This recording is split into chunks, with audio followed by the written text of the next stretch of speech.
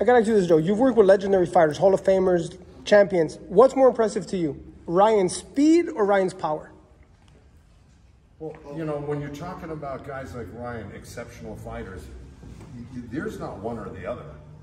You, you know, there's when you're talking about somebody like Ryan or the great, great, great fighters ever worked, with, they've got everything. They've got speed. They've got power. You usually don't have one without the other at this level that I'm describing to you. He's got speed, power.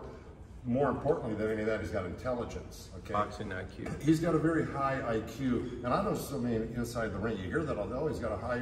No, he's he's a high IQ guy outside the ring. He's in tune with a lot of things that are beyond his years right now. We talk about that. We talk about uh, all sorts of things. So uh, his parents are uh, very astute. They're very smart people. I mean, you're self-taught musician, right? Not self-taught. I went to college. Uh, But right. that's a different story. Well, yeah, but you went to college, but still, I mean, you, No. you, you had a, a talent Exactly. for it. Yeah.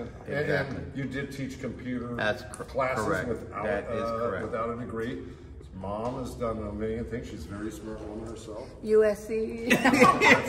But but I'm gonna tell you something. I, get into USC, by the way. I tried. I tried. They wouldn't accept me, and then they invited me to speak at a class. I thought that was messed up.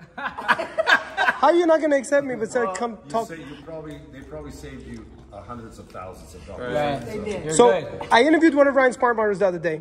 He told me Hold on, hold on, slow down. Say. I interviewed one of Ryan's sparring partners the other day. yeah, who was And he, that? I don't I don't want to say the name. Oh, but okay. but he told me you stand in front of Ryan, you see a flash, and then you feel the pain. and I don't think he was not trying to. And I heard the same thing about when I interviewed Pacquiao sparring partners. Like they just don't see it; they just feel it. Right.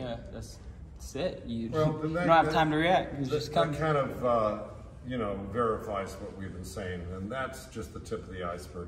There's so many other things, variables that go into his his whole chemical makeup that um, it, it's hard to describe. It's like you know when they talk about the it factor. I, I can't tell you what it is. I just know it when I see it, and he's got Like it. my dad said, what Stevie Wonder said, you just gotta feel it. That's it. That's right. So And, and not if you know what that But you really know, means. you can feel it all you want, though, but you have to work for it, Yeah. and, and that's the key. You know, Yeah, you ain't feeling shit if you're tired. right?